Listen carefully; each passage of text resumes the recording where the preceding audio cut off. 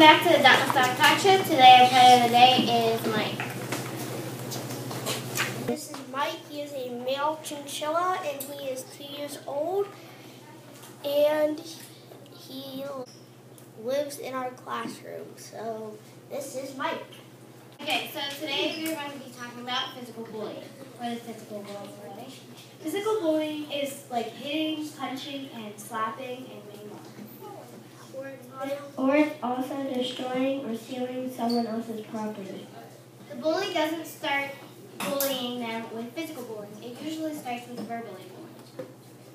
Verbal bullying is like when you're saying stuff to them and just don't even say anything back to them, just ignore it. Did you know over 3.2 million students get bullied in a year?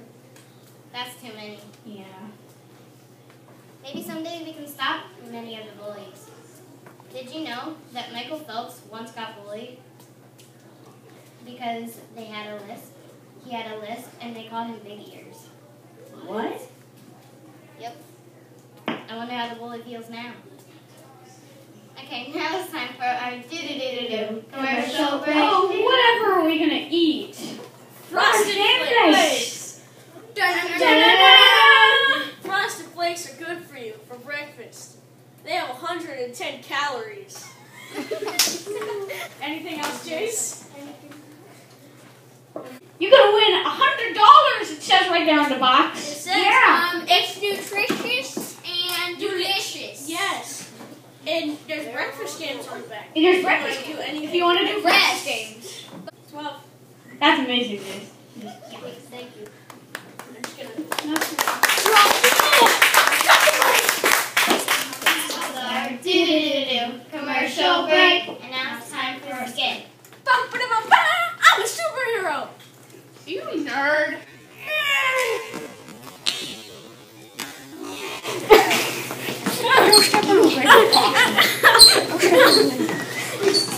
What are you doing there, mister? Nothing. Well, it kind of does look like you're doing something. I'm not doing anything wrong. You're kicking him. No, I'm not. You, yes, you are. No, I'm not. Yes, you are. Why are you kicking him? He fell. He tripped. Yeah, He tripped but, over his own leg. yeah, but I just want you to hit him with your foot. No, I didn't. That doesn't make sense how you hit him with. I, but I didn't. Yes, you do.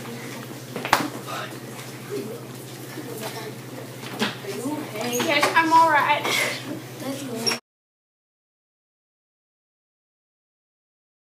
Okay, that was our skit. We are going to ask the audience a few questions.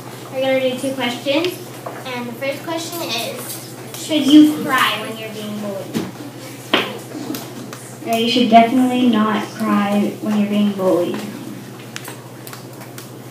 Okay, so don't cry because bullies love having power over others and they like to make you feel sad. If you show them they feel sad, then they're just trying to get more out of you.